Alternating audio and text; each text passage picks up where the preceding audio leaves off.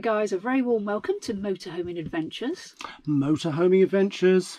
Absolutely, this is our new channel, and the old one being It was, it was offshore and onshore adventures. But here we're going to bring you all things motorhoming, the UK, Europe, further afield, who knows. Absolutely. And we'll also be bringing across some of our original films that were on our old channel, or motorhoming films, of course, and we'll be bringing them onto this channel so you don't miss out. Absolutely, yeah. So stay tuned.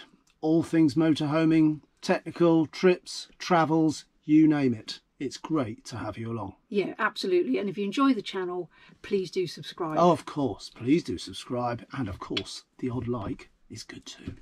Thank you. Hi guys, so you've seen the video of us um, installing the awning. Yeah, yeah. Went okay. It went well, yeah. Touch wood. Yeah, and so in this video we're going to be putting it up and showing you some bits and pieces, um, some accessories that we Mm. use to um, keep it secure. Yeah. But before we do, I'd like to give a shout out to Jess, William, and their lovely dog Pippa, and mum and dad. Were Lindsay and Andy. And we met them down at uh, one of our local beaches, um, close to where we live. In Um, lovely Tenby. Yes, it was lovely chatting to Yeah, you guys. it Um, was. And it's so lovely to hear that you've been enjoying our films. So, um, yes, thanks very much. Thanks, guys, and to the rest of you, of course. Um, do feel free to subscribe to the channel and check out some of our other films. Okay, so time to give the awning a bit of a first wind out and test up. What do you reckon, Rosie? Yes, let's give it a go. Yeah, absolutely. So I've got the um, that's the tie down straps, stake there ready to go. Um, one for that corner, one over that side, tie down strap. Got my mini steps to reach the rafter because I'm a short what's it and can't quite reach the uh, centre rafter, which is obviously that piece. Um, full pound hammer to whack those old stakes in. Uh, drill there if we uh, are going to give those pegs a try, which uh, that fits into the drill and gives us a bit of a, uh, a winding advantage, shall we say, a bit of battery assistance. Uh, we've got these couple of bits that fit into the um, the track on the awning up there, which allow you then to hook um, hook straps over. This um, this piece here hooks over those once they're in the track, um, and that's us ready to unwind. So let's give it a go. So that bit of um, that bit of foam padding I mentioned uh, when we were unboxing uh, is obviously the piece that um, goes up near the top of your roof. Now, obviously, our van um, is structured so that once I've got that looped in there, um, there's not much danger of it going up against the van. But you see, if I wanted to rest it, it allows that sponge to uh, prevent the van getting any damage. But obviously, if you've got uh, more of a curve on the van or the bracket is further back, then that uh, that bit of foam on the end then comes into play more and just protects the side of your vehicle. So, and then it's just we start the unwind. And we take it out about a metre or so just over so I can reach being a shorty so I can reach which we can now. So we just rest that there against the side. And then we'll come uh, come and unslot these. So these obviously slot in the legs at the back here. Unslot it there. Also pull it out this end so it then passes this bit of the track. So we get that down and then what we can also do here is we've got the, the screw here which allows the leg to extend. So we take that down just take a bit of weight on there tighten it back up again to support that side. And then exactly the same around this side. Take that out both sides. Just make sure that's right out so that the leg swings down. And again loosen off the screw let the leg drop down, lift it slightly, and then what we'll do, because we're going to be winding it back, we'll just put the leg out a little bit more, ready for the next winding process. That just gives that bit of support. And again with this one, angle it back slightly. Right, and that's ready for the next bit then. and away we go.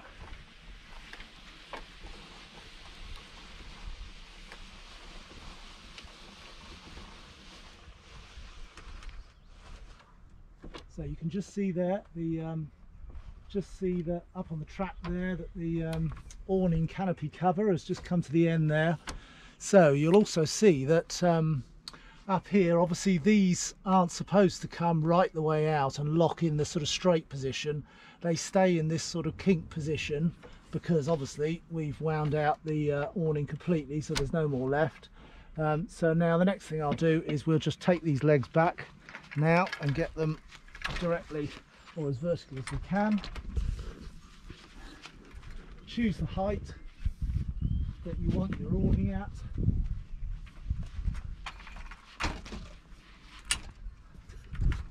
That's got us there already. Just make sure those are nice and tight.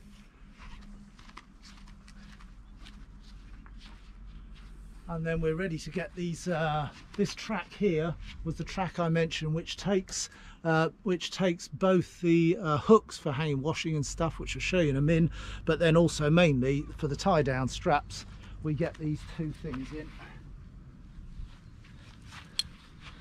Uh, these slide in here and they hold upside down like that so you can see the profile there goes in upside down ready to receive the uh, or to loop the strap over. Get this one in this side. And then as you can see here from these uh, tie down straps this then clips over there over there and we're ready to uh, start to work out where we want our pegs depending on obviously where all the prevailing wind is etc etc um, okay so let's get these pegs fixed in Uh, I keep this bit of the hook there because that's the bit that receives the spring. So it's tilted backwards. Drive that right in.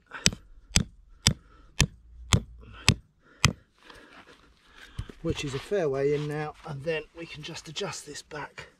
Loop that under there so you can see there that rather than uh, rather than any windy weather forcing on the canopy of the spring takes some of the load out and then we'll just tighten up that so you can see that one's in. Let's get the other one done.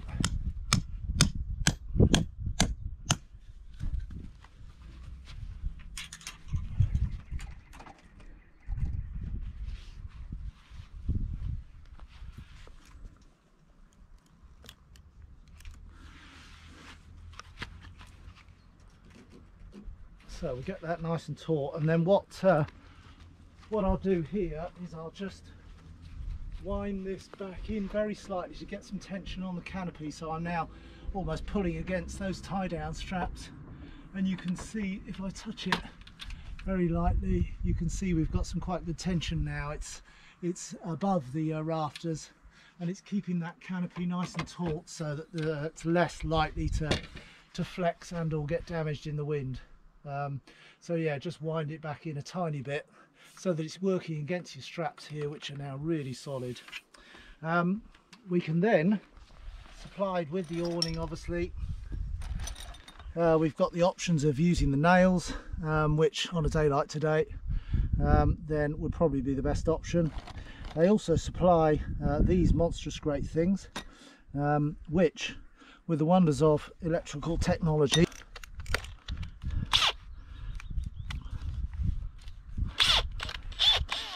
going to speed one so it's a bit slower. And obviously they fit onto the end there if we were going to put one in here. And they just drive in like that. And it means you can very quickly get your pegs in. So I'll just show you obviously if you just want to sort of belt and brace then you might be doubling up with a with a nail into these two holes here. You've obviously got one each side but you've also got the option then to bring in this on top. And that's when you might want to be using these larger screws uh, which help to anchor things down. We'll just use that, drive it in. And you can see that really locks down tight um, and would be holding your awning. There's a second hole there. Nikki just uh, just moves the camera around. You can see there's an ability to go straight down through this bit of plastic into the hole underneath so uh, which is part of obviously the strut. So it gives you the ability then to go through both fixings the wider foot and the little holes underneath that are part of this leg which gives you that super strong uh, super strong fixing to obviously get them out then uh, straight back up. Um, if you're uh, not lucky enough to have something with a bit of electrical assistance then obviously this uh, simply works as a as a hand uh, spanner as well so you can drive them in like that.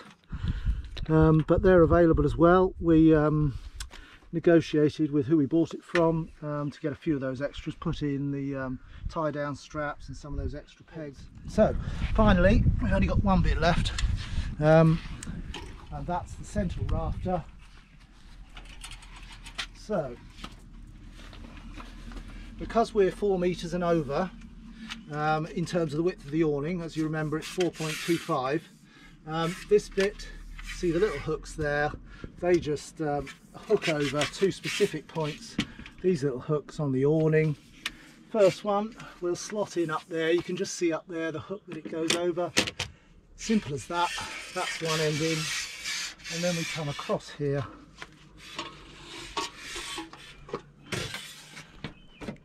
That slots in there. And then the bit that I need the ladder for.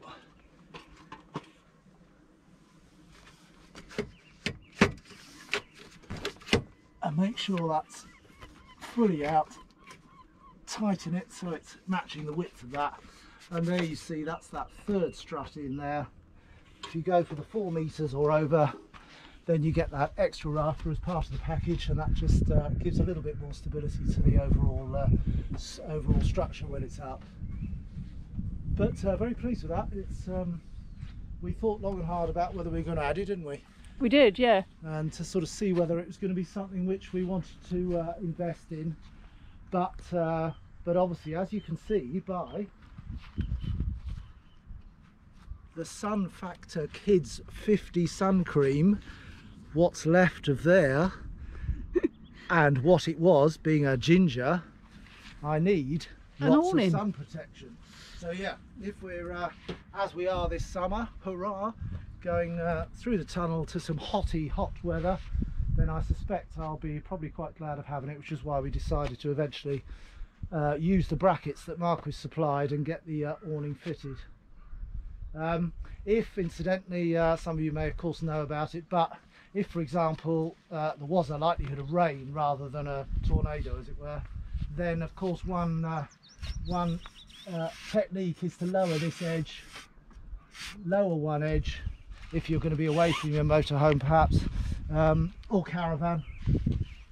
Retighten it up and you see there uh, just creating a deliberate drop on it so that there's no danger of uh, of water collecting on the on the canopy um, if it's uh, if it's a heavyish rain shower okay and the other thing um, which uh, I almost forgot to tell you about are these little hooks. Um, they obviously go into the tracks up here and give you a little uh, extra place for that fantastic sock carrier that we've got in the garage that you may have seen on one of our other films. Um, but they simply slide in on the end here um, into this track. In the kit there are one two three four five six ish yeah six of them um, they slot in there and then these simply can go in there like that uh, and give you an ability to hang your hangers or your washing or whatever you want to hang on there. Um, or indeed that way around I guess. I don't suppose there's any rules about how they fit on. Um, that looks probably slightly better. But um, good for uh, washing hanging God knows what. Hanging your herrings out to dry them. If you liked herrings what are you going to be hanging on there Nikki um well hopefully yes swimming costumes so oh yes yeah yeah don't know about in Tenby just at the moment though no, eh moment. but definitely across the water. Yeah, swimming costumes, some French baguettes. Who knows what might end up there? You'll have to wait and see. And of course, make sure you got one of those because some of those sites we've been on the ground is absolutely rock hard but that uh, and make sure you got these little yellow bits fitted because that just allows you to loop in under the yellow bit and then pull out the uh, pull out the nail. Even uh, some of the hardest ground we used to use these when we were camping with the girls years ago. Um, use this type of thing. Um, and uh, we certainly uh, certainly were grateful of it on some of the sites we stayed at uh, down south in uh, the south of France and places where we enjoyed many a tent holiday um, of course if you've got one of these or even one of those with these it's much easier but yes for the nails don't forget your hook. So folks, that hopefully describes not only the fitting that we did in the first film, have a look at that film if you haven't seen it already, but it also uh, goes through us putting the awning up there. If any of you, of course, have got any hints or tips as to uh, how best to look after the awning now that we've invested in it, then uh, do let us know in the comments below, good or bad, experiences you've had with them. Um, and uh, and we love to get your comments and we'll answer them all so thank you very much for that yes thank you. Thanks for watching and um, we'll see you on the next film. Absolutely. Very soon. Thanks guys. See you soon. Bye. Bye, bye.